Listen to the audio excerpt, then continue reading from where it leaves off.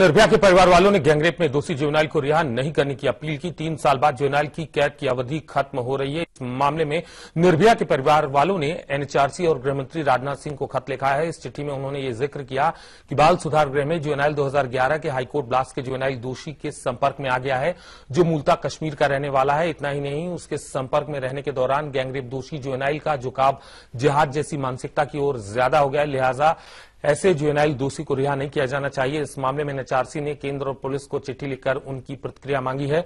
Police Kashmiri आतंकी के संपर्क में आने की बात को गंभीरता से लेते हुए कानून के जानकारों से बात कर रही है।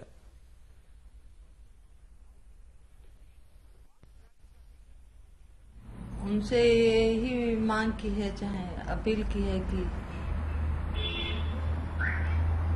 वो बाहर नहीं आना चाहिए। इतना घिनौना क्राइम किया और महज पाँच महीने के लिए वो बाहर आ रहा है। तो उसको बाहर नहीं आना चाहिए।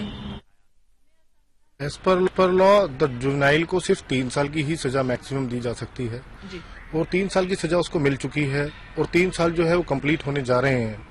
अब अगर निर्भया की फैमिली मेंबर्स किसी भी ग्राउंड्स पर अगर एप्लीकेशन लगाते हैं कि should not be release even then the court cannot prevail, uh, cannot go beyond the law. What has been prescribed in the Juvenile Act, that has to be done.